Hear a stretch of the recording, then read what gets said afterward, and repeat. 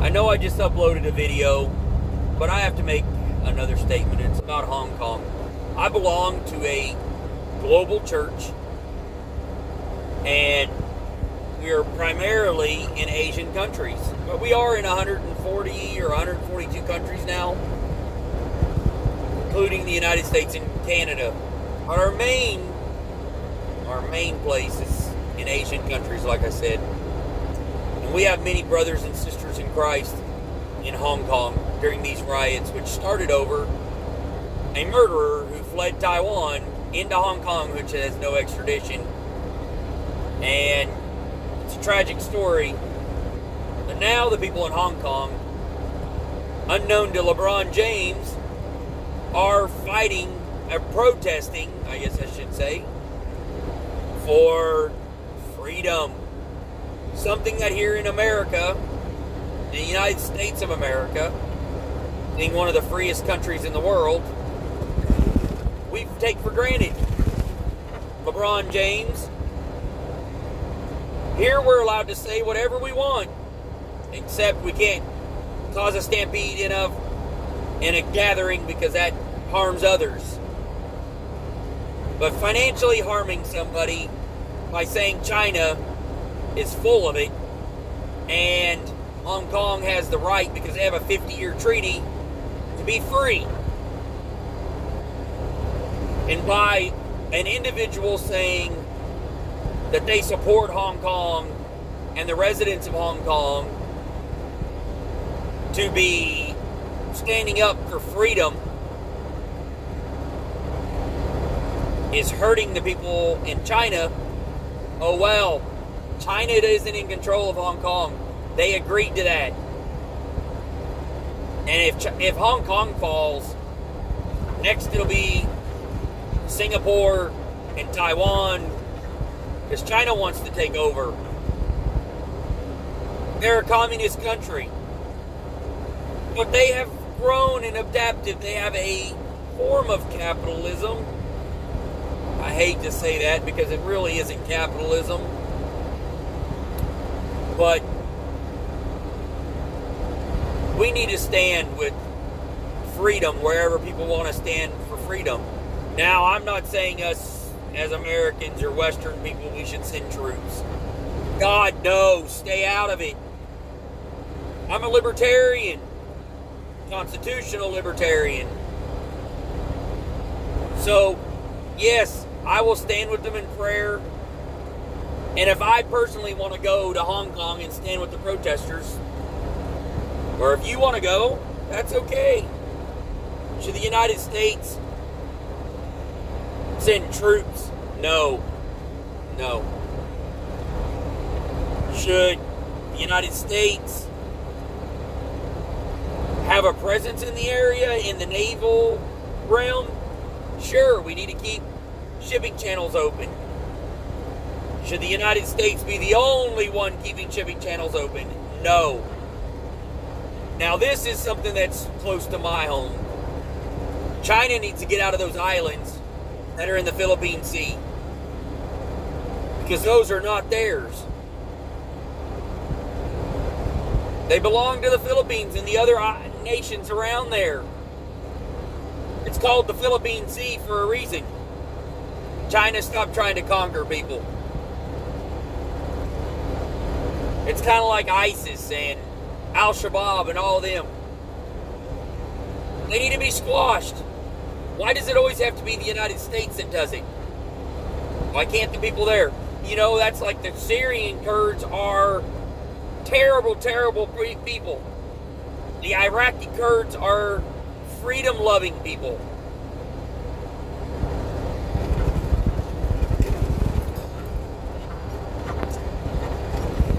Know, many people don't want to recognize or really don't know their history, but the Middle East, and I'm talking Northern Africa, Egypt, and all that, Syria, Pakistan, Iran, which, you know, we could just call it Persia, are mostly Christians, like 90 plus percent Christians, a thousand years ago, 1500 years ago. Then what happened? The Islamists, which is different, the radical Islam, the Islamists, come in and started killing people if they wouldn't say, yeah, I worship Muhammad. And they're still doing it today. So, of course, people change. The weaker, the seed that fell on the path or on the rocky soil, read the parable of the sower, you'll understand that analogy. You'll find that in any of the four Gospels in the New Testament. But, anyways, they wither and get trampled and never mature. So yeah, they're weaker and they they fall and they give in and they become Muslim or Hindu or Buddhist or whatever it might be. The ones that truly believe, they'll take a knife to their neck because that's what the Islamic people have been doing since the shores of Tripoli. Listen to the Marines pledge or our, our national anthem in the United States. It says, to the shores of Tripoli. What is that talking about? It's talking about Islamist terrorists that we've been fighting since the Barbary pirate days. The Marines are called leathernecks because they put a big thick patch of leather on the back of their neck. So whenever the Islamists would hit them with the sword, it wouldn't cut their head off. And no, I'm not a former or a retired Marine. I just know my history. Let's stand for freedom in prayer for everybody that's standing for it. China, stop. This is ridiculous. You know, I try not to buy products that are made in China just because of how bad they are to their people. You know, we we don't buy North Korean or Iranian products here in the United States because of how bad they are. Now, if you go to Canada, you can buy Iranian fruits and stuff, which, hey, that's Canada's deal. I'm an American. I'm not buying it.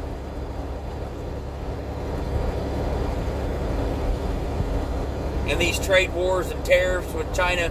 Do I agree with them? In some part, I do. But the United States has kind of pushed every business out. The taxes are too high. And nobody in the United States wants to do the jobs. The menial jobs, as now they're called, of working in a factory or even driving a semi truck like I am.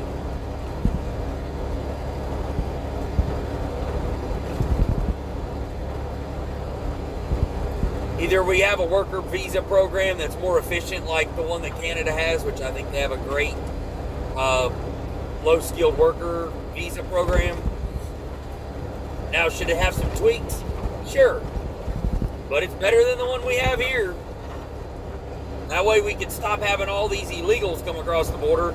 We could make it to where they could come here legally for a certain amount of time, be able to leave and go back home for a certain number of time, a couple of years or whatever, and then they could come back again under a workers program and, and get a priority that they've been here and they follow the rules and they get to come back legally and make it easier so that way they can they can uh, possibly bring their their their their immediate family, their spouse, and their children on the second or third time that they've had a, a stint in the U.S.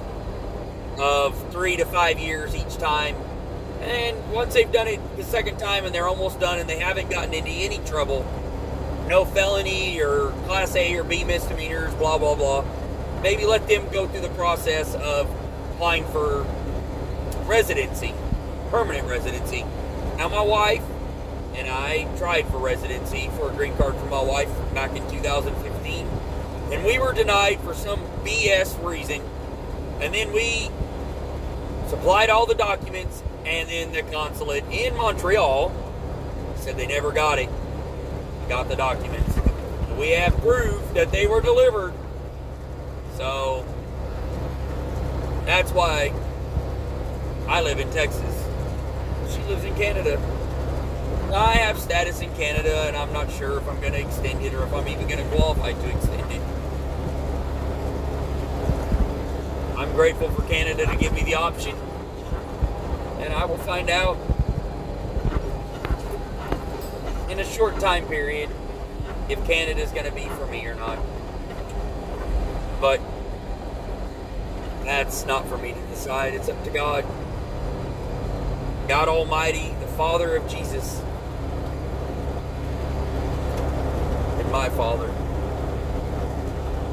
Thank you. China, stop. People listening, pray.